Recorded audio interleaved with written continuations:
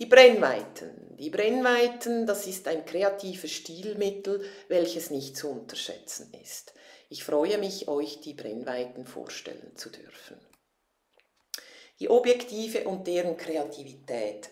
Wir haben nun vorab bereits Blendezeit und ISO und deren Bildwirkung besprochen. Das heißt, schon da habt ihr viel kreative Stilmittel bekommen. Weiter ist es aber so, dass der Einsatz der Brennweite, des Abbildungswinkels ganz zentral ist, um ein Motiv bildwirksam abzulichten. Das heißt, ich habe die Möglichkeit, verschiedene Brennweiten zu kaufen. Ihr könnt diese Folie vorsichtig durchlesen, sie ist sehr zentral. Anders gesagt, wenn ich hier jetzt wieder Beispiele bringe, kann ich es so sagen, wenn ich ein 24 mm Weitwinkel habe, dann kann ich von diesem Fußballfeld sehr viel aufs Bild bringen. Das heißt, ich bringe sogar noch die Zuschauer, welche wir hier imaginär uns vorstellen könnten, aufs Bild mit drauf. Ein weiter Winkel, eine kleine Zahl. Dann, dem sagt man die Brennweite. Das 50 mm Objektiv, das entspricht der Normalbrennweite. Die Normalbrennweite bezeichnet den Bildwinkel, den wir von Aug wahrnehmen. Mit dieser Brennweite von 50 mm kann ich jetzt also einfach nur noch dieses Feld ablichten. Das heißt, ich bringe weniger aufs Bild als mit einem 24 mm. Wenn ich nun ein Teleobjektiv verwende, zum Beispiel, das ist ein ganz leichtes Teleobjektiv, dann wird der Bildwinkel noch enger und ich kann nur noch dieses Tor ablichten.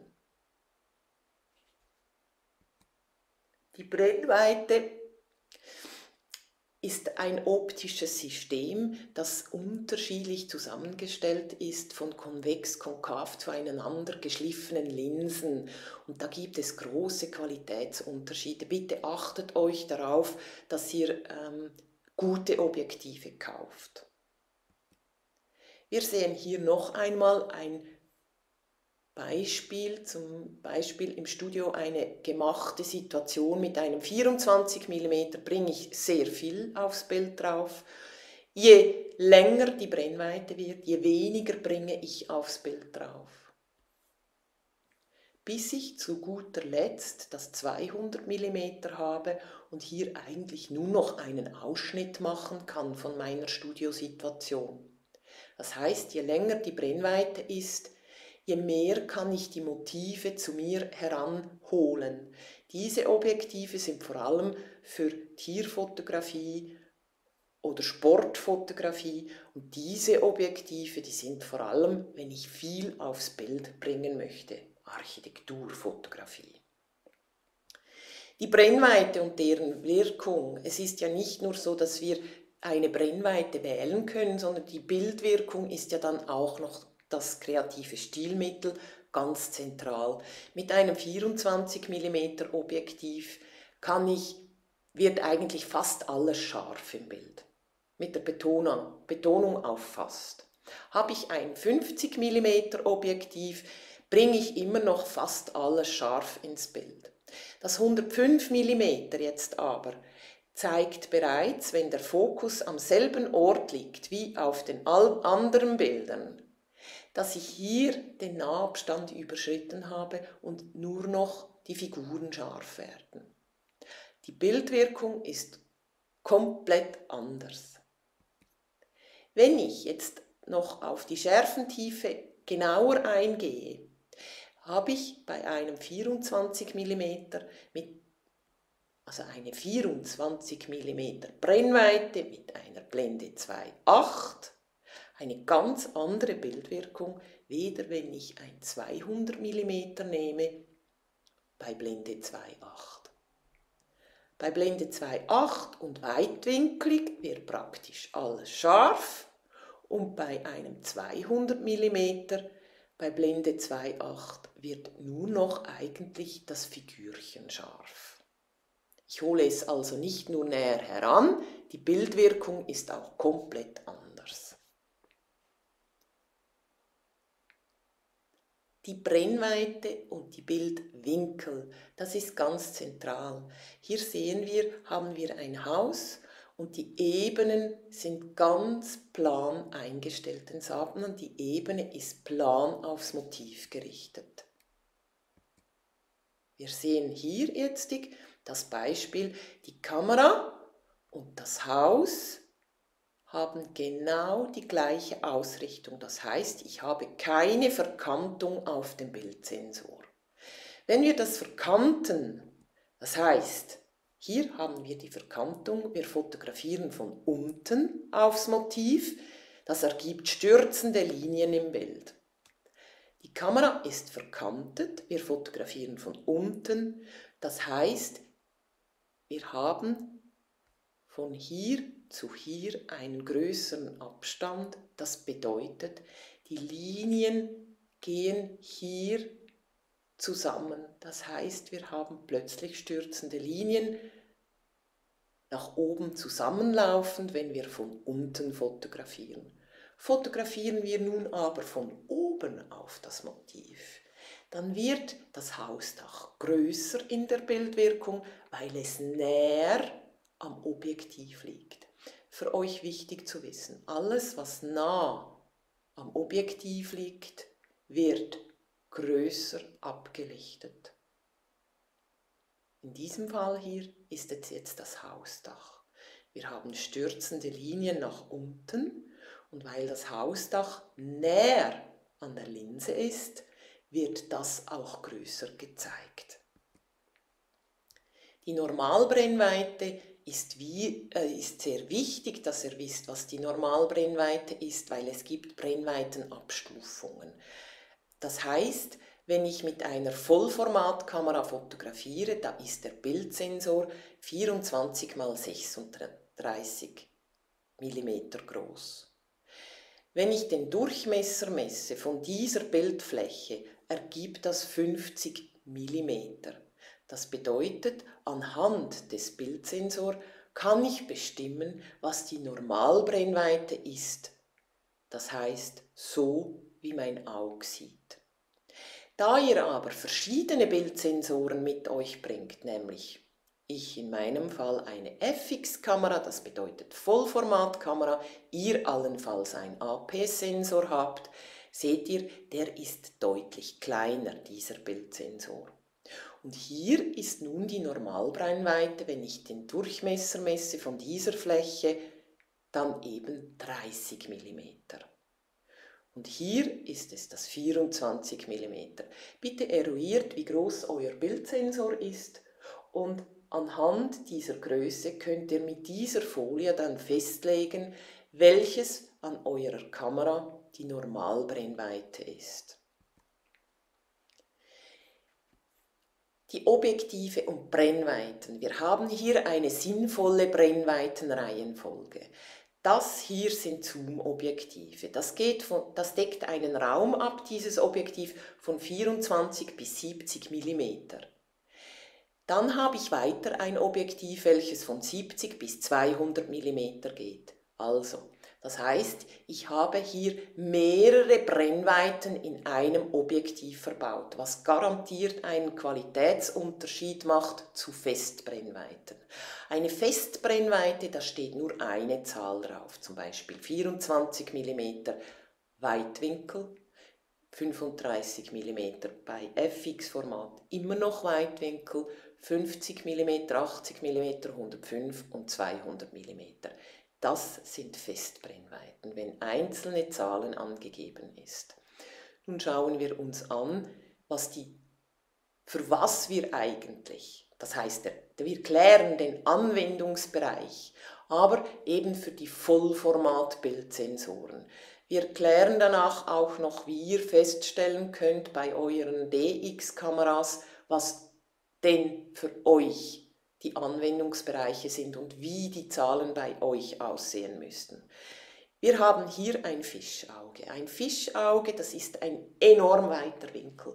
Das heißt, das Bild wird quasi rund abgelichtet. Das ist ein Fischauge, ist eine interessante Möglichkeit, um Landscape-Aufnahmen zu machen, welche wir dann in Timelapse verarbeiten. Eigentlich eine spielerische Brennweite. Dann haben wir weiter hier das Weitwinkel, das geht das deckt zum Beispiel einen Raum ab von 15 bis 35 mm, ist ideal für Architektur, Gruppenaufnahmen und Landscape. Wir haben das Makroobjektiv. Makroobjektiv bezeichnen wir dieses Objektiv, welches uns das Motiv gleich groß wie es ist auf den Bildsensor bringt. Dazu gibt es aber einen separaten Kurs, das ist dann der Makrofotografiekurs. Mit diesem Makroobjektiv kann ich kleinste Gegenstände bildwirksam ablichten. Wir haben hier das Normalobjektiv, das ist das 50 Meter, äh, Entschuldigung, das 50 mm Objektiv. Das ist die normale menschliche Sichtweise, so wie wir im Alltag eben sehen. Dann haben wir ein Porträtobjektiv. In der Regel bezeichnen wir das Porträtobjektiv mit 80 mm. Können wir aber auch gut für Reportagen einsetzen. Dann haben wir das 105 mm. Das kann ich sowohl für Porträt als aber auch für Reportagen anwenden. Nun seht ihr, wir haben hier ein leichtes Teleobjektiv, das ist ein normales leichtes Teleobjektiv. Hier wiederum sehen wir ein Makroobjektiv, das ist auch ein 105 mm. Diese zwei Objektive sind aber komplett anders verbaut. Also Vorsicht, wenn ihr Makroobjektive kauft oder 105 mm Teleobjektive kauft. Wir haben das 200 mm Objektiv bis 800 mm Objektiv, das sind dann sehr lange Objektive. Die sind vor allem für alles, was weit weg ist, um es näher heranzuholen. Sportfotografen, Ornithologen, das heißt die, die gerne Vögel fotografieren. Das 200 mm Objektiv wird auch gerne in der Modefotografie eingesetzt. Der Kropffaktor, die Brennweitenverlängerung. Der Kropffaktor, die Brennweitenverlängerung, ist eine Bezeichnung respektive die Umrechnung für kleinere Bildsensoren. Wir haben nun in den meisten Kameras nur noch halb so große Bildsensoren wie 24 x 36, was das Ursprungformat für die Kleinbildkameras war. Da war dann das Normalobjektiv eben das 50 mm. Ist der Bildsensor eben nur noch halb so groß wie ein 24 x 36, dann wird das Tele respektive das Normalobjektiv von 50 mm zu einem leichten Teleobjektiv. Wenn wir den Kropffaktor nun berechnen von 1,5 dann müssen wir das 50 mm multiplizieren mit 1,5. Dann haben wir ein leichtes Teleobjektiv und wissen nun, was ungefähr die zu erwartende Bildwirkung ist. Das heißt, wenn ich bei einem Bildsensor von 24 x 36 FX-Format ein Normalobjektiv habe von 50 mm und hier das umrechne, dass ich erkennen kann, was dein Normalobjektiv sein sollte, dann muss ich diese 50 mm durch 1,5 rechnen. Dann bedeutet das hier ein 30 mm entspricht deinem Normalobjektiv für einen APS-Sensor. Das kann sein, dass du bei Canon anders einen anderen Crop-Faktor hast. Wir haben jetzt einfach hier den Crop-Faktor von Nikon genommen von 1,5. Hier kannst du die Einstellungen machen für den Crop-Faktor für noch kleinere Bildsensoren.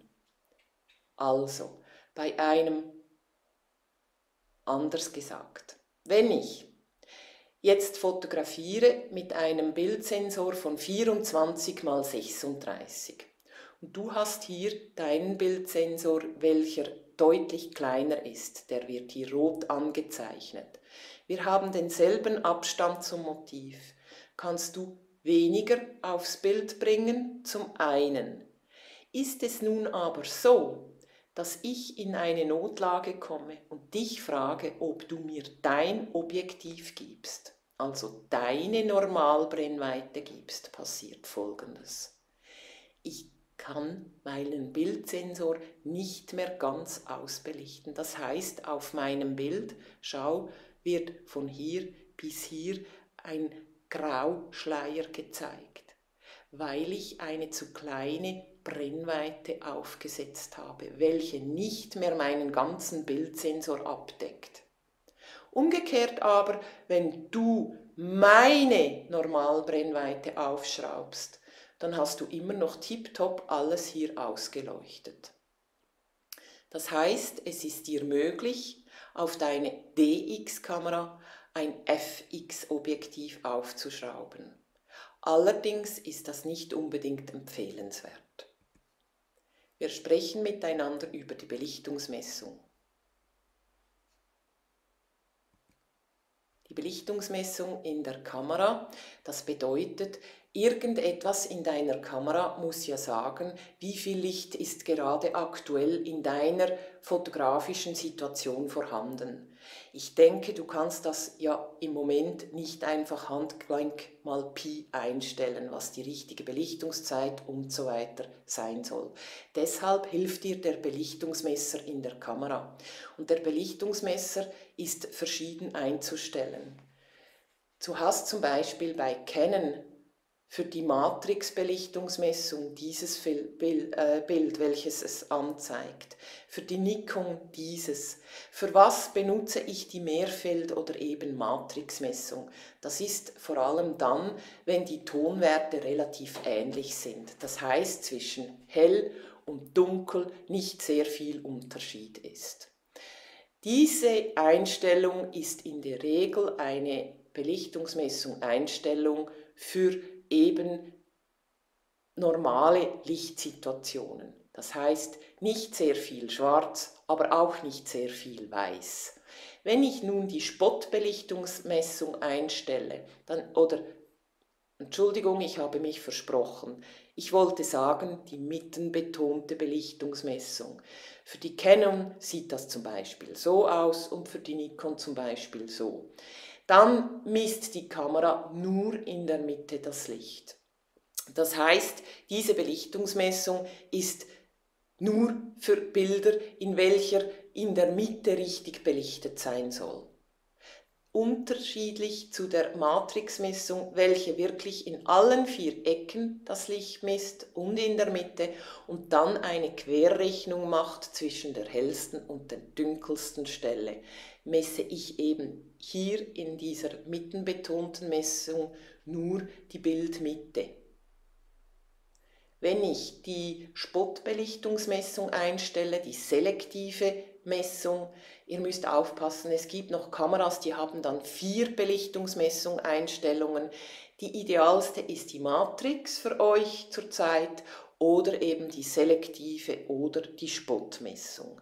Hier misst die Kamera in der Regel dort das Licht, wo der Fokus hingelegt wurde. Das ist aber auch wieder Kameratyp abhängig. Ich habe hier euch noch einen weiteren Punkt, nämlich den Kontrast, Kontrastumfang und die Tonwerte von einem Bild. Wenn wir das anschauen, der Kontrast, das bedeutet zwischen hell und dunkel zu eruieren, welche Grauwerte es hat. Hier haben wir 100% Weiß, das ist die Weißstelle im Motiv. Und hier haben wir die dunkelste Stelle im Bild, hier an diesen Wimpern. Der Kontrastumfang zwischen hell und dunkel in diesem Bild ist nicht sehr hoch. Denn wir haben hier noch das neutrale Grau im Bild, das bezeichnet man etwa hier in der Mitte, das ist ein neutrales Grau.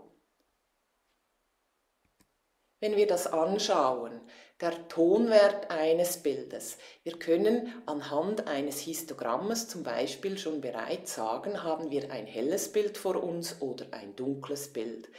Der Kontrastumfang, sprich das Histogramm, zeigt uns das Verhältnis zwischen dem hellsten und dem dunkelsten Punkt im Bild. Hier in, dieser, in diesem Histogramm haben wir die dunklen Stellen und hier haben wir die hellen Stellen. Das Histogramm verstehen wir folgendermaßen. Hier zeigt es in der Höhe die Häufigkeit, wie oft das der Schwarzton vorkommt. Hier haben wir den Tonwertumfang hier unten. Das heißt, auf der linken Seite zeigt es die dunklen Stellen an und auf der rechten Seite die ganz hellen Stellen. Und hier zeigt es die Mitteltöne an, die neutralen Grautöne. Dieses Bild können wir so verstehen. Es hat sehr wenig Schwarz. Schaut, die Kurve ist sehr, sehr niedrig. Es hat relativ viele Mitteltöne, dieses Bild. Und es hat sehr, sehr viele Lichtstellen. Die Lichter bedeutet eigentlich die weißen Stellen. Das ist die Häufigkeit. Das heißt, weiß kommt sehr häufig vor in diesem Bild. Wenn wir uns das anders anschauen, dann sehen wir hier auf der linken Seite ist eine ist die Häufigkeit vom Schwarz ganz deutlich angezeigt und dann wird die Kurve immer tiefer. Das heißt, es hat wenig Mitteltöne und praktisch keine Weißtöne. Dem sagt man Low-Key-Bild. Wenn wir nun die Farben anschauen, wir können die nämlich auch zeigen, dann haben wir in dieser Mitte hier, schaut einmal, die Farben liegen hier in der Mitte, das ist ein neutral neutraler Farbton. Wir haben etwa gleich viel Rot, Gelb, Grün, Cyan und Blau. Und hier zeigt es noch die Kurve des Grauwertes an. Wenn wir das Bild nicht sehen würden, könnten wir also anhand dieses Farbhistogrammes sagen, ah, das ist ein neutral belichtetes Bild.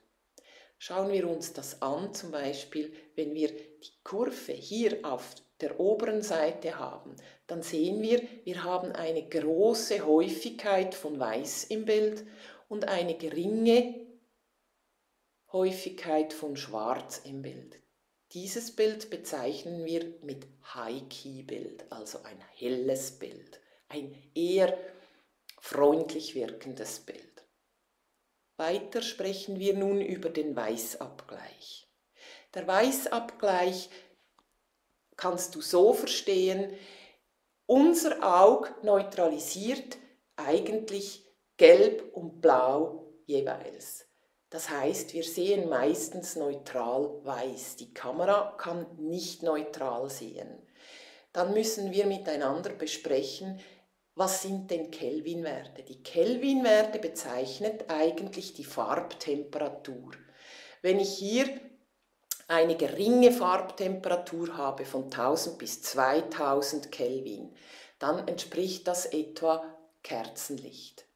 Wenn ich hier in die Mitte schaue, dann haben wir hier einen neutralen Wert, das heißt, das ist fast weiß, das entspricht dem Blitzlicht. Das sind dann 5000 bis 5500 Kelvin.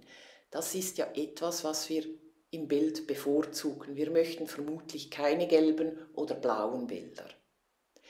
Wenn ich nun den Kelvin hochschraube auf 9000 bis 10.000 Kelvin, dann habe ich ein blaues Bild und das sind sehr hohe Kelvinwerte. Das bezeichnet so ungefähr äh, bedeckter Himmel und Schatten. Bitte beachtet, das sind ungefähr Angaben, das sind Richtwerte. Also, kurz zusammengefasst, die Farbtemperatur wird mit Kelvinwerten angegeben. Den Weißabgleich verstellst du an deiner Kamera unter WB. Bitte achte darauf, dass du den Weißabgleich in der Regel auf WBA hast, also WB Automatik. Wir schauen uns das später noch an. Hier ein Beispiel zu Bildern, welche zu stark mit gelbem Licht fotografiert wurden. Und hier haben wir einen neutralen Wert. Hier geht das Bild auf die blaue Seite, was ich persönlich jetzt eher schwierig finde für Porträts. Ist Geschmackssache. Hier haben wir den Modus, also im Modus Automatik stellt die Kamera selber relativ gut die Farbtemperatur zwischen 300 und 7000 Kelvin ein. Bei Tageslicht seht ihr dann weiter hier 5200. Das sind so vorgegebene Module, welche ihr an der Kamera einstellen könnt. Ich rate nicht dazu. Was ich aber empfehlen kann, ist zum Beispiel den manuellen Weißabgleich. Da kann ich manuell selber die Farbtemperatur übers Live-View einstellen. Dann haben wir noch die Kelvin-Werte, die Farbtemperatur selber, welche wir dann auch zwischen 2500 und ähm, sehr viel höheren Kelvin-Werten verstellen können. Die Lichtwaage. Das ist der Belichtungsmesser in der Kamera. Das heißt, nun könnt ihr bereits im manuellen Modus belichten, weil ihr inzwischen Blendezeit, das heißt die Lichtdosierung verstanden habt. Wenn ihr hier jetzt die Lichtwaage anschaut, dann haben wir die dicken Striche, das sind immer die ganzen Lichtwerte, Blendenwerte oder Lichtwerte. Das hier sind Drittelsblenden. Hier auf 0 ist dann das Bild theoretisch laut Kamera richtig belichtet. Hier gehe ich in den helleren Bereich und hier gehe ich in den dunkleren Bereich. Wenn ich ein Bild nun heller belichtet haben möchte als eben 0, dann gehe ich plus eine Blende. Stelle ich jetzt nun plus zwei Blenden ein, dann wird mein Bild schon sehr deutlich viel heller. Und hier ist das Bild dann deutlich zu hell. Auf 0 wäre das Bild entsprechend dem Kamerasensor, sprich der Belichtungsmessung, richtig belichtet. Das ist aber von euch und eurem Geschmack abhängig, wie ihr das haben möchtet. Stelle ich nun die Kamera um minus ein, ein Drittel Blende, dann bezeichnet das Graue hier die Drittelsblende. Seht, hier kommt die Zusammenfassung. Hier ist das Bild zu dunkel belichtet im Minusbereich und auf dieser Seite wird das Bild zu hell belichtet. Also dem sage ich Lichtwaage.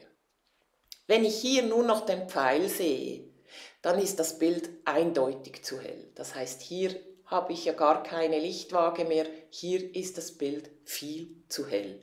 Anders gesagt, wenn hier der Pfeil erscheint, ist das Bild eindeutig zu dunkel.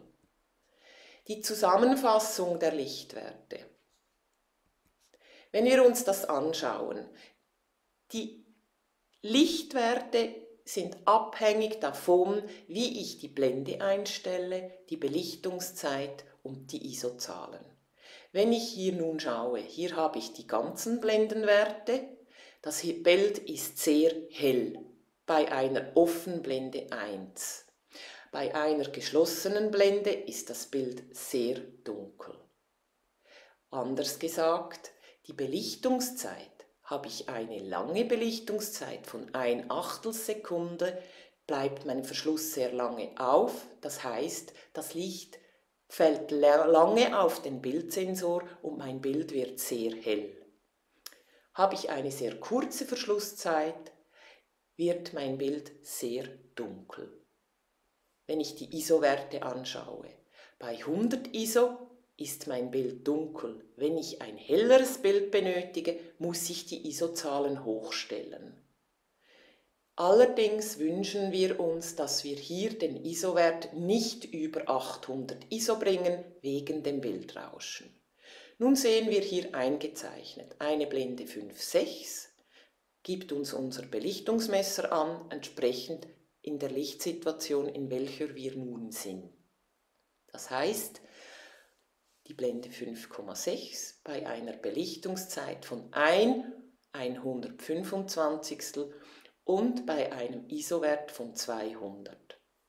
Nun ist es aber so, dass ich nicht unbedingt diese Blende möchte.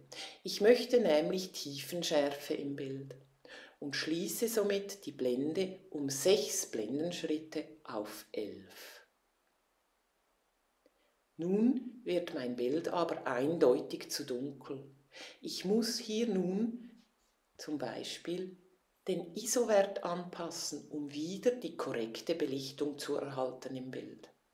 Also heißt das, ich muss den ISO-Wert wieder um sechs Schritte erhöhen, um dieselbe Belichtung zu bekommen, wie der Belichtungsmesser mir angegeben hat. Sonst wird mein Bild viel zu dunkel. Ich habe hier aber auch noch eine Alternativmöglichkeit. Ich habe die Möglichkeit, nach wie vor habe ich die Blende geschlossen wegen der Tiefenschärfe, bin also auf Blende 11, habe hier plus, 5, plus 6 Blendenschritte und jetzt habe ich alternativ doch auch die Möglichkeit, die Belichtungszeit minus 6 Zeitschritte zu verlängern, damit mein Bild wieder heller wird.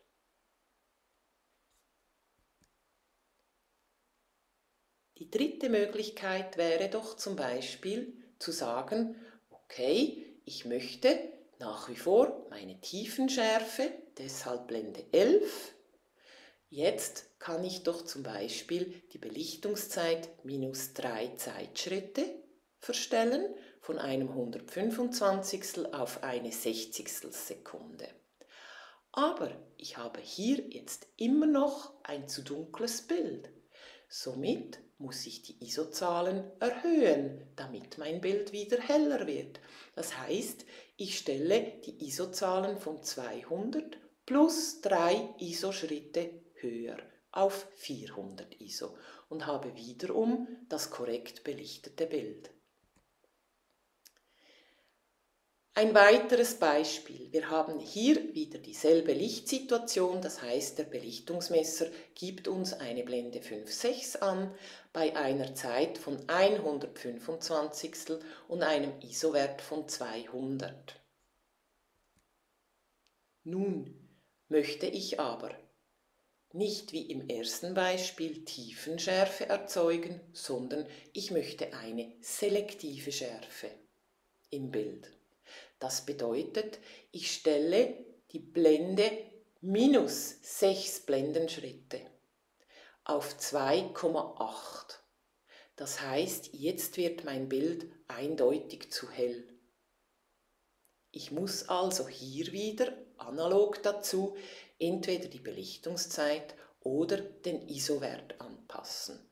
In diesem Beispiel stelle ich nun, weil ich nicht so gerne grobkörnige Bilder habe, den ISO-Wert minus 3 Schritte auf 100 ISO.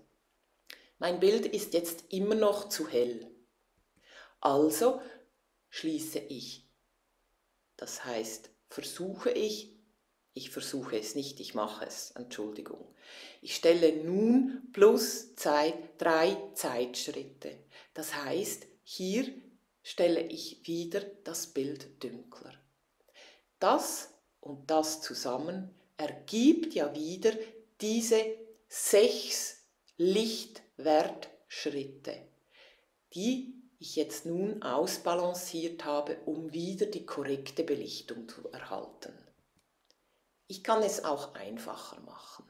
Ich habe die Möglichkeit, die ISO-Zahlen auf 200 zu belassen und hier einfach nur plus 6 Zeitschritte zu gehen, um wieder die korrekte Belichtung zu erhalten.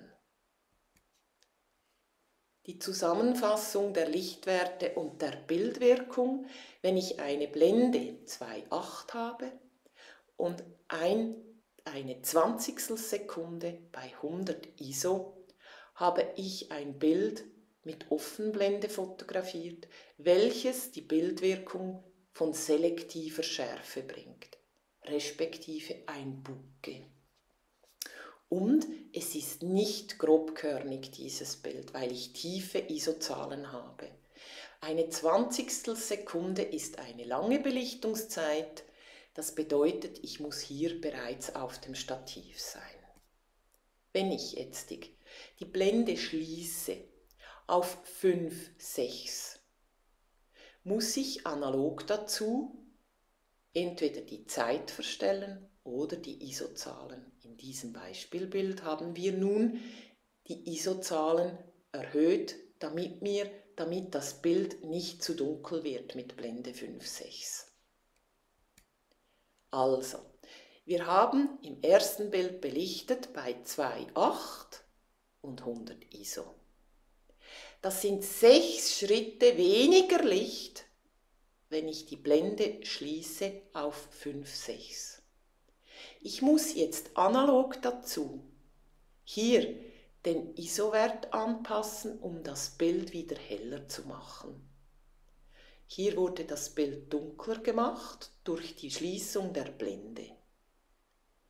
Hier muss ich das Bild heller machen über die ISO-Zahlen. Die Belichtungszeit belasse ich zurzeit wenn ich eine Blende 5.6 habe, bei 1 Zwanzigstel Sekunde um 400 ISO,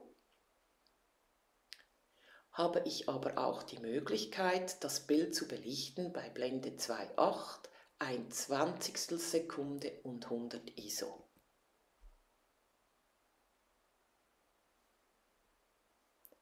Die Zusammenfassung der Lichtwerte, Blendenwerte und der Schärfentiefe, sprich der Bildwirkung. Also noch einmal gesagt, die Blende ist da, um den Lichtwert zu steuern, das heißt die Lichtdosierung. Aber wir haben auch eine Bildwirkung. Wenn wir mit Offenblende 1 fotografieren, haben wir ein sehr helles Bild die Bildwirkung von sehr geringer Schärfentiefe. Je mehr ich die Blende schließe, je dunkler wird mein Bild.